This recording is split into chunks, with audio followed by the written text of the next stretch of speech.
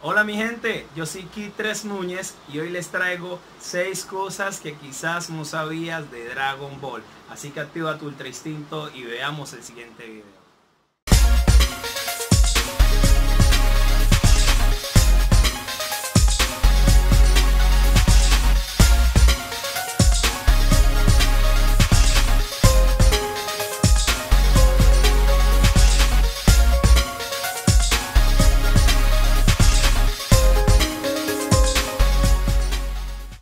Todos sabemos, Dragon Ball Z se ha convertido en referente para todos nosotros en la historia de la humanidad. Es uno de los animes más citados de todos los tiempos en internet. Y ahora te vengo a, a nombrar la número uno. Número uno, el nombre real de Mr. Satan. Para todos nosotros es muy conocido que Mr. Satan siempre ha sido la gallina de Dragon Ball Z, pero el superhéroe de todos los humanos. Porque los guerreros Z nunca se dieron a la tarea de darse a conocer pero todos nosotros lo conocemos como Mr. Satan. Ese es su, ese es su apodo a nivel mundial. Pues el nombre Mr. Satan real es taran taran Mark. Mark. Se llama Mark. Sí, yo sé, es una estupidez. Pero es el nombre común que le colocó Toriyama a Mr. Satan. Pero Mark también hace alusivo a su apodo, Satán. Entonces, dio popularidad entre todos los seguidores llamarlo Mr. Satán, por eso siempre vemos en los letreros de Dragon Ball Z, Satán, y lo invocan, etcétera, etcétera. Número 2. Número 2. En realidad, por eso así me van a matar todos ustedes y todos los fanáticos que tiene el guerrero favorito.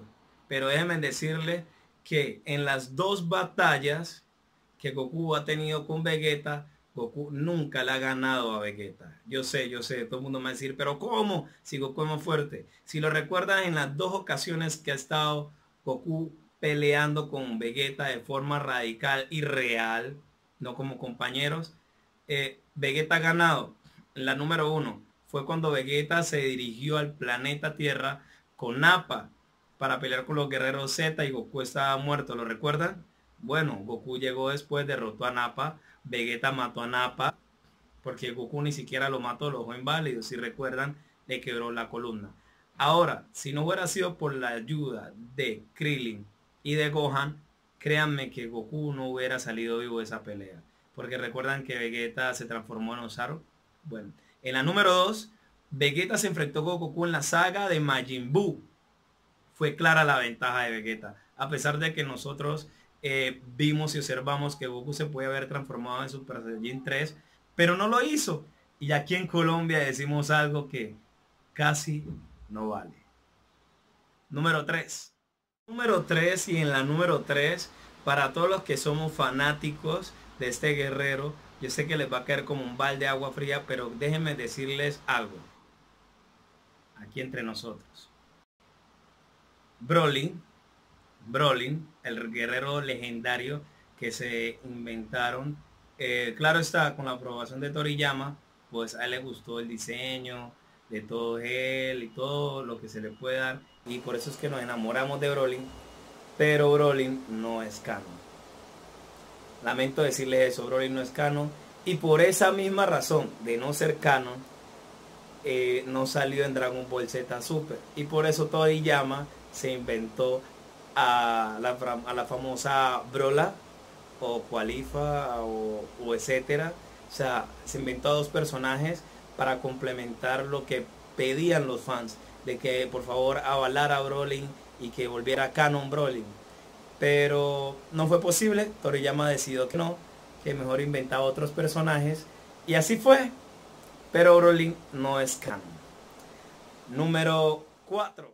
En este número 4 les quiero complementar un poco con lo que hablamos ahora, si me entiende, del Super Saiyan legendario. Em, en este número 4 les voy a decir cuál es el nombre real del Super Saiyajin legendario. Si me entiendes, es Super Saiyajin eh, que todos deseábamos ver en televisión de forma canon. Ahora, en diciembre va a salir una película de la historia del Super Saiyajin legendario déjenme decirle que el nombre de ese Super Saiyajin legendario se llama Yamoshi. Yamochi es el nombre real del Super Saiyajin legendario en el cual Goku se va a enfrentar, enfrentar en diciembre cuando salga la película, que es algo que estamos esperando los verdaderos fans. Y créanme que yo, Kit 3 Núñez, estaré ahí puntual. Y ojo, que todas las personas que se están suscribiendo a mi canal, sean de mi ciudad o exterior, estaré sorteando más adelante, cuando ya sea oficial la fecha de lanzamiento de la película, sorteando tres entradas con las personas que se hayan suscrito. Así que suscríbete a mi canal, comenta de forma activa y dale like. Está Krillin, el ser humano más poderoso de todo el universo. Aunque no lo crean, sí, murió cinco veces en Dragon Ball Z, pero es el más poderoso de los seres humanos. Yancha es el más débil.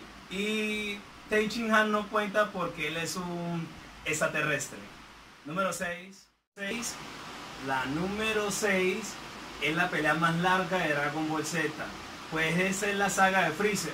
Pues duró muchos capítulos porque se suponía que hasta ahí iba a llegar la saga.